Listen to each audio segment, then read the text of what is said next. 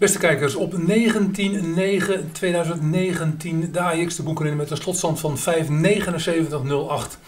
En dan blijkt maar weer eens dat een verwachte correctie soms helemaal niets voorstelt. We zaten immers te loeren vanaf 5,78 naar een correctie, of op een correctie beter gezegd, richting 5,70 en iets lager, om dan een hogere bodem te plaatsen en daarna de trend te vervolgen.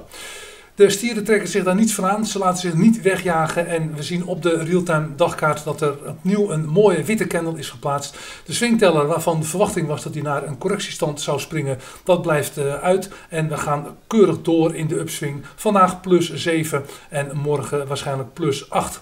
En dan wordt het wel weer interessant. Met andere woorden, de correctie die gaat heus wel komen. Daar ben ik niet bang voor. Maar niet vanaf het verwachte moment vanaf 5, 75, 578. Nee, zo mogelijk nipt onder 5. 587, 586.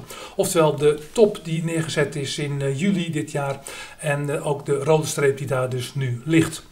En dat betekent, en dat is op zich een mooie prestatie, dat de upswing volledig afgerond kan gaan worden. Hetgeen ook het geval was bij de eerder ingezette rebound vanaf 5,38. Kortom, de Bulls zitten stevig in het zadel en we gaan eens kijken of ze dit nog vol kunnen houden.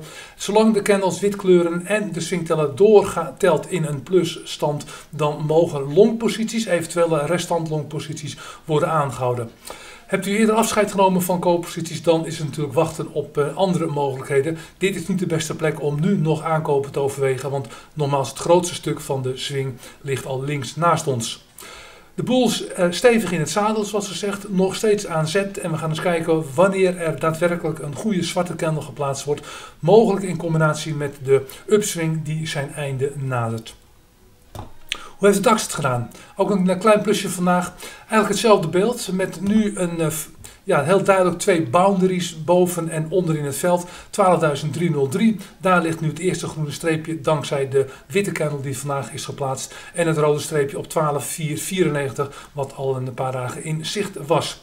En dat betekent een uh, wat zijwaarts gekwakkel, een wat ja, um, stabilisatie beter gezegd. En het is de verwachting, of niet de verwachting, maar het is de vraag welke kant de markt gaat kiezen wat betreft het uitbraakniveau. Naar boven toe, dan komt er heel veel ruimte vrij of naar onderen dan praten we ook daar over correctiebewegingen. Hier staat de swingteller wel in een correctiestand, dus die is wel een stapje verder. En uh, is het de vraag of de bulls dit tempo naar boven kunnen volhouden.